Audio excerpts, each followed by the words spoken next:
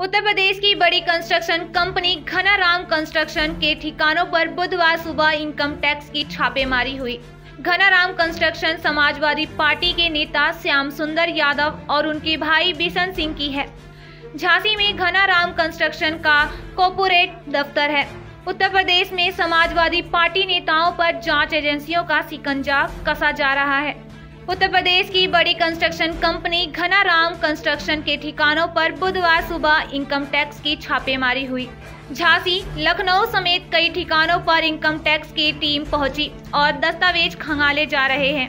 Ghanaram construction Samajwadi party के नेता श्याम सुंदर और उनके भाई बिशन सिंह की है। झांसी में घनाराम कंस्ट्रक्शन का कॉपोरेट दफ्तर है। झांसी के सिविल लाइन स्थित दफ्तर और आवास पर इनकम टैक्स की टीम रेड कर रही है।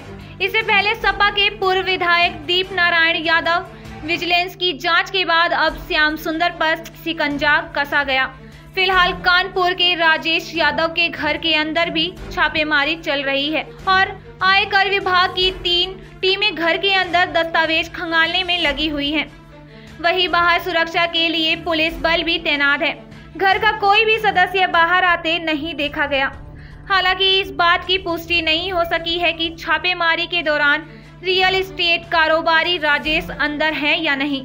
कानपुर की इनकम टैक्स टीम ने झांसी के आठ बड़े व्यवसायियों और बिल्डरों के आवास, कंपनी और अन्य ठिकानों पर छापेमारी की, जो कि बसेरा, बिल्डर्स और घनाराम कंस्ट्रक्शन है। सपा नेता श्याम सुंदर सिंह यादव, बिल्डर वीरेंद्र राय राकेश बघेल। विजय सरावगी समेत कई कारोबारियों पर आयकर विभाग की कार्यवाही की जा रही है। ब्यूरो रिपोर्ट, दिल्ली समाचार।